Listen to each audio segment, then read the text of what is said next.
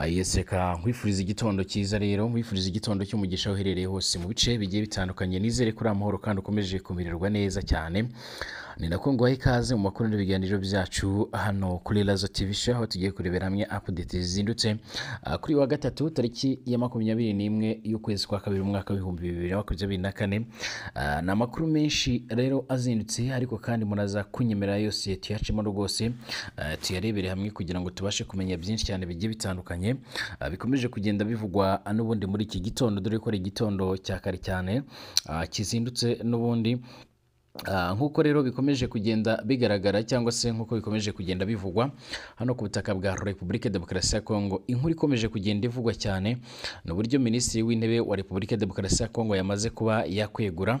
Ese ibi byaba byatewe n'iki? Mu gihe ubufaransa ah, n'ubundi bwongeye gusaba eh, FARDC guca uh, umubano na fdr ariko kandi kugeza amagingo aya ngaya ah, turaza no kurebera hamwe uburyo imirwano yaje kuba ku munsi w'ejo yaje kugenda imera. Ariko kandi nyaboneka ni nako turaza gucamo turebe byinshi bizindutse bivugwa by'umwihariko hano muri teritwari ya Masisi ibintu bizindutse bitoroshye ibintu bizindutse ari urugamba ibintu bizindutse n'ubundi byahinduye isura nk'uko amakuru akomeza kugenda tujya bivuga nk'uko bikomeje kugenda bivugwa. Ni mu gihe n'ubundi hano ku butaka bwa Repubulika ya Demokarasi ya Kongo ibijyanye n'intambara ndetse n'urugamba no gutana mu mitwe gufatwa kw'abasirikare ba FDLR FARDC ndetse na Wazalendo n'abarundi byo bizamaze kuba nka misa ya mbere. Ariko kandi eh, gutsindwa ku mirongo y'urugamba na byo ni ibintu wagira ngo basinye muri kontra kugeza amagingo aya ngaya nubwo perezida Felix Tshisekedi Tshilombo yakomeje guhitamo inzira igendanye ah, n'ibiganiro igendanye n'intambara kugeza amagingo aya ngaya ibintu bikomeje kugenda bimubana bibi muri rusange. Munyemerere turebere hamwe rero izi update zizindutse zivugwa turebere hamwe aya makuru akomeje kugenda avugwa. By'umwihariko akaba ari amakuru yihutirwa rwose nifuje ko ah, turebera hamwe kugira ngo tubashe kumenya byinshi cyane bigiye eh, bitandukanye. So kugeza ubu rero nk'uko bikomeje kugenda bivugwa cyangwa se nk'uko bikomeje kugenda bigaragara hano ku butaka bwa repubulika iharanira demokarasi ya kongo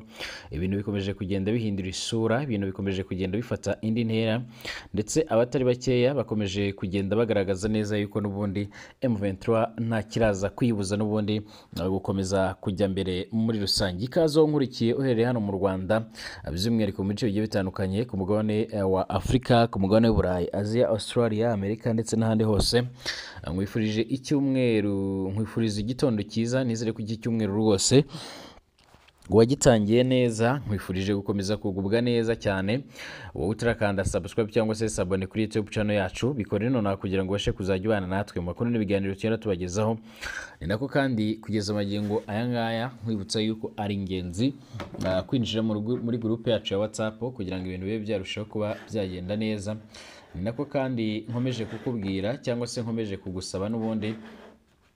gukora iyo bwabaga kugira ngo ujye uturayikinga rwose ukande like kugira ngo ibintu bibe byarushaho kuba byagenda neza cyane. Ah, ikindi ushobora gutanga ibitekerezo cyangwa ushobora gutanga igitekerezo cyawe ah, ubundi ukabasha kuzajya ubana natwe mu makuru n'ibiganiro tutinda tubagezaho umunsi ku munsi. Kaze rero turebere hamwe izi update zizindutse zivugwa muri iki gitondo. Ah, reka duhere wenda ku mirwano izindutse iri kubera mu bice eh, bigiye bitandukanye bya Ndomba n'ubundi hano hafi eh, n'umujyi wa Sake. Rwose eh, nk'uko amakuru akomeza kugenda tugera bivuga ah, cyangwa se nk'uko amakuru akomeza kugenda abyemeza ni mu gihe n'ubundi ku munsi w'ejo ariho habaye imirwano. By'umwihariko no ku gicamunsi cyo ku munsi w'ejo rero hakaba harabaye imirwano ikomeye cyane nk'uko amakuru akomeza kugenda tujya bivuga ah, cyangwa se nk'uko amakuru akomeza kugenda abyemeza bikaba byaje kugenda bigaragaza ndetse binagaragara neza yuko n'ubundi umutwe wayo mu makumyabiri na gatatu ngo waba ukomeje kugenda wifata ufata ibice byinshi cyane bigiye bitandukanye ah, nk'uko amakuru akomeza kugenda tugera bivuga cyangwa se nk'uko bikomeje kugenda bigaragara.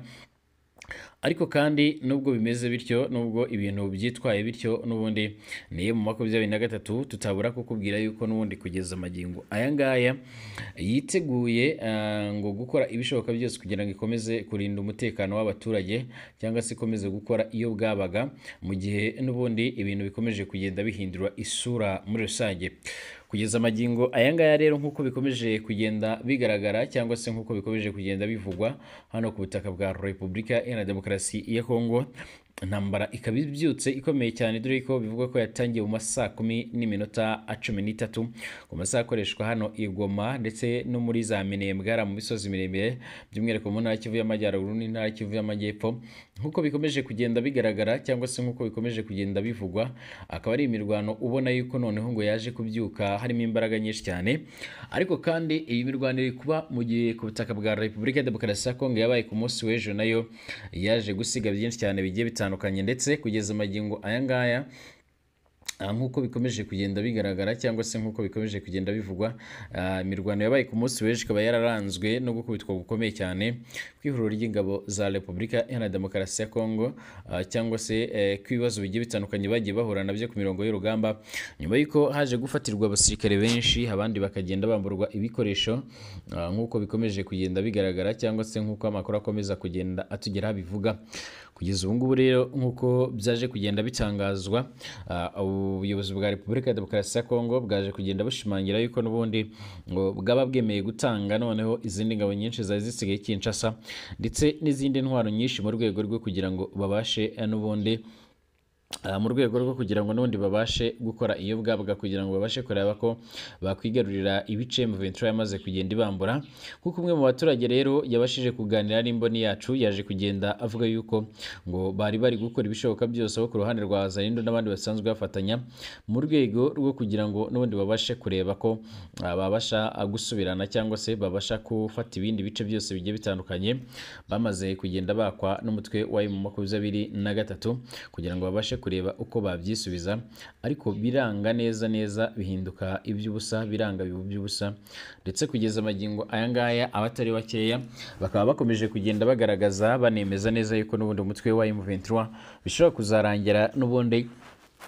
Bishobora kuzarangira n'ubundi ukomeje ugafata n'ibindi bice bigiye bitandukanye nk'uko amakuru akomeza kugenda atugeraho abivuga muri rusange. Kugeza ubu ngubu rero intambara ikomeje kuba akaba ari intambara ikomeje kugenda igaragaramo bamwe abasirikare benshi higanjemo abarundi dore ko abarundi bo bahora basimburana n'ubundi baje kureba bagenzi babo. Hakaba harimo abandi basirikare bagiye batandukanye by'umwihariko baturutse muri Tanzania ndetse n'abaturutse muri Malawi. Mu gihe abandi baturutse muri Sadek n'ubundi ngo baba barahawe inshingano ndetse barahawe na gahunda zigiye zitandukanye zo kwinjira muri uyu mujyi wa Goma akaba ariho bawucungira umutekano nk'uko bikomeje kugenda bigaragara cyangwa se nk'uko bikomeje kugenda bivugwa muri rusange. Kugeza ubu ngubu rero nk'uko bikomeje kugenda bigaragara cyangwa se nk'uko bikomeje kugenda bivugwa abatari bakeya bakomeje kugenda bashimangira ndetse banagaragaza neza yuko n'ubundi umutwe wa makumyabiri na gatatu waba ukomeje kugenda ukora amaoperasiyo menshi cyane agiye atandukanye waba ukomeje kugenda ukora iyo bwabaga mu rwego rwo kugira ngo ubashe kureba n'ubundi uburyo wakomeza kugenda n'ubundi ufata ibice byinshi cyane bigiye bitandukanye. Hagati aha kandi nubwo bimeze bityo nubwo turi kugenda tuvuga ibingibi n'ubundi hano ku butaka bwa repubulika ya demokarasi ya kongo minisitiri w'intebe yamaze kwegura. Yamaze kweguzwa n'iki? Mu gihe abandi bayobozi bagiye batandukanye nabo bamaze igihe n'ubundi bagaragaza neza yuko nta bushake bafite n'ubundi bwo gukomeza kubana ndetse no kuyobora iki gihugu cya repubulika ya demokarasi ya kongo. Mu gihe twavuga ko cyamaze kumera nk'igihugu kitumva cyangwa se gifite abayobozi bagoranye badafite imyumvire twavuga ko ari myiza muri rusange. Birasa naho rero kuyobora repubulika iharanira demokarasi ya kongo ari urundi rugamba rukomeye cyane. Nyuma y'uko byinshi bikomeje kugenda bigaragara cyangwa se byinshi bikomeje kugenda bivugwa n'ubundi ari ibintu bisa naho bigoranye cyangwa se binateye ubwoba muri rusange. Kugeza ubu ngubu kandi nk'uko bikomeje kugenda bigaragara cyangwa se nk'uko bikomeje kugenda bivugwa byaje kugenda bigaragara yuko uyu mutegetsi yamaze kuba yakwegura ariko akaba amaze akaba yaje kwegura mu gihe n'ubundi hano ku butaka bwa repubulika iharanira demokarasi ya kongo ibintu bimeze nabi ibintu bitifashe neza n'ubundi mu gihe abandi bayobozi bagiye batandukanye nabo baba bari gushaka uburyo baba bari gushaka uburyo n'ubundi basubiza igihugu ku murongo ariko we yamaze yahisemo kuba yakwegura mu rwego rwo kugira ngo n'ubundi abashe kuba yabona uburyo n'ubundi yakwitandukanya n'ibibazo bikomeje kugenda bifata intera twagiye tubona rero abayobozi bagenda n'ubundi bahura cyangwa se abayobozi bagenda n'ubundi bahura biyunga kuri emu makumyabiri na gatatu. Abantu baribaza batese uyu mugabo nawe ashobora kuza kwiyunga kuri emu makumyabiri na gatatu? Ni Jean Michel Soma Lukonde n'ubundi wari umaze imyaka itatu ari minisitiri w'intebe wa Repubulika ya Demokarasi ya Kongo akaba yamaze kwegura ku mirimo ye. Perezida perezidansi ya RDC ku rubuga rwayo rwa X yatangaje ko ku mugoroba wo kuri uyu wa kabiri tariki ya makumyabiri Gashyantare bibiri na makumyabiri gata- na kane ari bwo Sama Lukonde yashyikirije n'ubundi ubwegure bwe n'ubundi perezida Felix Antoine Tshisekedi Chilombo ntabwo hizewe rero ntabwo higeze hatangazwa impamvu yatumye uyu mugabo aza kwegura nk'uko bikomeje kugenda abigaragara. Sama Lukonde cyakora n'ubundi ari mu baminisitiri bahoze muri guverinoma ya Repubulika ya Demokarasi ya Kongo. Mu kuboza umwaka ushize bateruye n'ubundi kwinjira mu nteko ishinga amategeko ya RDC nk'abadepite muri rusange. Nk'umukuru wa guveri- wa guverinoma rero ubwegure bwe n'ubundi busobanuye ko agomba kujyana n'abaminisitiri bose yari ayoboye muri rusange nk'uko bikomeje kugenda bigaragara cyangwa se nk'uko bikomeje kugenda bivugwa muri rusange. Kugeza ubu ngubu rero uyu mugabo yeguye mu gihe iki gihugu gisa naho kiri mu bibazo bigiye bitandukanye kiri mu bibazo bikomeye cyane mu gihe n'ubundi gikomeje gukubitwa by'umwihariko ku rugamba gikomeje guhanganamo n'umutwe wa mu makumyabiri na gatatu nyuma y'uko M23 nawe na yo yasisi ikashimangira yuko n'ubundi ridateze kuzarekura ibice byose yamaze gufata ko idateze kuzarekuraho na santimetero n'imwe n'ubundi nk'uko bikomeje kugenda bigaragara cyangwa se nk'uko bikomeje eh, kugenda bivugwa muri rusange. Kugeza ubu ngubu kandi ni repubulika demokarasi ya kongo ikomeje gukoresha intwaro zigiye zitandukanye zaba intwaro za kirimbuzi zaba intwaro z'ubumara zaba izindi ntwaro zigiye zitandukanye mu rwego rwo kugira ngo ibashe kureba uko yatsinda n'ubundi mutwe wa M23 ariko byose byaranze. Umutwe wa M23 waje gutangaza ko ingabo za repubulika ya demokarasi ya kongo n'abafatanyabikorwa babo n'ubundi bagabye ibitero mu gace ka nyakajaga. Ah, ni ibitero rero byavuzwe ko byagabwe n'ubundi mu masaha y'igicamunsi. Ah, cyo kuri uyu wa kabiri hari ku itariki ya makumyabiri y'ukwezi kwa kabiri umwaka w'ibihumbi bibiri na makumyabiri na kane. Bikubiye rero mu nyandiko umuvugizi wa M23 mu bya politiki Lawrence Kanyuka amaze gushyira hanze kuri uyu wa kabiri akaba yavuze ko biriya bitero n'ubundi ko birimo gukorwa n'ihuriro ry'ingabo z'ubutegetsi bwa Repubulika Iharanira Demokarasi ya Kongo avuga ko ingabo z'umuryango wa SADC ingabo z'u Burundi wazalendo abacancuro FDLR ingabo za Repubulika ya Demokarasi ya Kongo ari zo ziri kugira uruhare n'ubundi muri ibyo bisasu. Dore ko bari gukoresha ibisasu biremereye cyane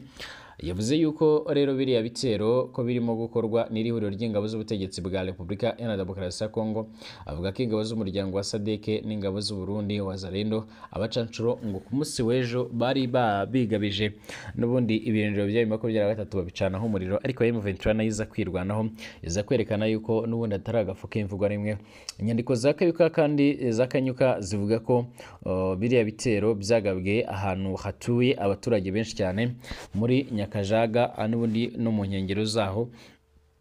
nk'uko amakuru akomeza kugenda atugeraho abivuga muri rusange. Akomeza avuga ko M23 rero ko itazakomeza kwihanganira ibyo ihuri by'ihuriro ry'ingabo z'ubutegetsi bwa Kinshasa bakomeza gukorera abaturage. Ati ndetse nta n'ayandi mahitamo bafite usibye guhagarika n'ubundi ndetse no kuvanaho ubutegetsi yise ko ari bubi ku banyekongo bose muri rusange. Yagize ati nta yandi mahitamo twebwe dufite n'ubundi usibye gufata mpiri ziriya ntwaro ah, usibye gukora ibishoboka byose n'ubundi ah, usibye gufata mpiri n'ubundi ziriya ntwaro ihuriro ry'ingabo z'ubutegetsi bwa Kinshasa bakoresha mu kurasa ibisasu mu baturage. Ubwo rero ibitero ubwo ubwo eh, ibyo bitero rero bikozwe mu gihe ah, iminsi yari ishize n'ubundi nta mirwano ivuzwe cyangwa se ntavuzwe imirwano hagati ya M23 ndetse na M23 na na FARDC n'iri huriro basanzwe bafatanya mu kurwana nyuma y'urugamba rero rukomeye cyane rwamaze iminsi irenga itanu ah, n'ubundi mu mpande zombi zirwanira n'ubundi zirwana hano muri teritwari ya Masisi ndetse na Nyiragongo. Ngira ngo abantu barabyibuka gusa ku mugoroba rero wo ku cyumweru ni bwo haje kuba indi mirwano ikaze cyane yaje guhuza ah, n'ubundi abawazaniro ndetse na FDLR barwaniye n'ubundi muri kahitse ya Lasiveti iherereye mu mujyi wa Goma mu ntara ya Kivu y'Amajyaruguru. Iyo mirwano yabaye rero kuwa gatanu yasize wazaniro na FARDC FARDC ah, ihitanye abasirikare bagera muri barindwi batanu ba FARDC ndetse na babiri bo muri Wazalendo igihe FARDC yapfushije rero abasirikare babo ah, batatu nk'uko n'ubundi byemejwe n'ubuyobozi bwa sosiyete sivile mwaho ngaho muri ako gace ndetse n'abandi baturage bagiye batandukanye bakomeje kugenda babivuga cyangwa se babishimangira muri rusange. Kugeza ubu ngubu rero nk'uko bikomeje kugenda bivugwa imirwano izindutse muri iki gitondo akaba ari imirwano uh, twavuga ko imeze nabi cyane mu bice bigiye bitandukanye nyuma y'uko impande zikomeje kugenda zihangana n'ubundi zikomeje gutuma abatari bakeya bibaza n'ubundi iherezo ry'iyi mirwano ikomeje kugenda ifata indi ntera hano ku butaka bwa repubulika iharanira demokarasi ya kongo nk'uko bikomeje kugenda bigaragara cyangwa se nk'uko bikomeje kugenda bivugwa muri rusange. Ni intambara ikomeje gufata indi ntera n'ubundi hano ku butaka bwa repubulika iharanira demokarasi ya kongo mu gihe abandi batari bakeya nabo bakomeje kugenda bashimangira yuko n'ubundi iyi ntambara n'ubundi ngo ishobora kuzamara igihe kirekire. Iyi ntambara kandi ikomeje gufata indi ntera mu gihe abantu bagiye batandukanye barimo nka munyakazi sadate wigeze kuyobora Rayon Sport aherutse kwandikira nyakubahwa perezida wa repubulika y'u rwanda paul kagame amusaba yuko n'ubundi ingabo zamaze kwegerezwa imipaka by'umwihariko hano ku mupaka uhuza RDC n'igihugu cy'u Rwanda ngo n'ubundi bakora ibishoboka byose bakazigezayo kugira ngo zitazagira ikibi zikora. Ndetse aza no kugenda amusaba yuko rwose yamutabara cyangwa se yatabara abaturage muri rusange. Abo basirikare bari aho ngaho n'ubundi bakaza kugira bakaza ku- kureba uburyo bigizweyo nk'uko amakuru akomeza kugenda tugera bivuga cyangwa se nk'uko inyandiko yashyizwe ahagaragara cyangwa se ibaruwa ifunguye. Sadate Munyakazi yaje kuba yakwandikira perezida wa repubulika iharanira demokarasi ya kongo aho yaje kugenda yitsa n'ubundi kuri izi ndege z'intambara. Repubulika ya demokarasi ya kongo iherutse kugura mu gihugu cy'ubushinwa uretse ko na zo ubwazo n'ubundi zimaze kugenda zisigara cyangwa se zisigara n'ubundi mu birindiro byayo makumyabiri na gatatu. Dore ko M23 imaze kugenda izihanura ari nyinshi cyane nk'uko bikomeje kugenda bivugwa. Uyu muyobozi kandi amaze gusaba ibi ngibi mu gihe n'ubundi hari amakuru avuga yuko umwuka rwose ukomeje kuba utifashe neza hagati ah, ya repubulika demokarasi ya kongo ndetse n'u rwanda. Ariko kandi kugeza ubu nk'uko bikomeje kugenda bivugwa cyangwa se nk'uko bikomeje kugenda bigaragara abatari bakeya bakaba baje kugenda bashimangira yuko n'ubundi mu gihe kitarambiranye abayobozi bombi bashobora kuzahurira n'ubundi rwanda mu gihugu cya angola. Aho ari babiri perezida paul kagame ndetse na mugenzi we eh, Tshisekedi. Dusubire mu masaha ari imbere.